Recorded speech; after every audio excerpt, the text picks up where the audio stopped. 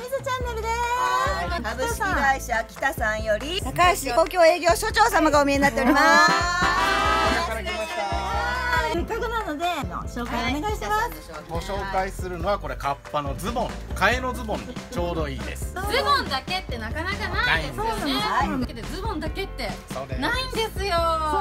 なんでズボンだけ欲しいの？破れ安いんですよよくねそう、うん、現場なのでね引っ掛けて切っちゃったりする時の替えズボンにちょうどいいですね。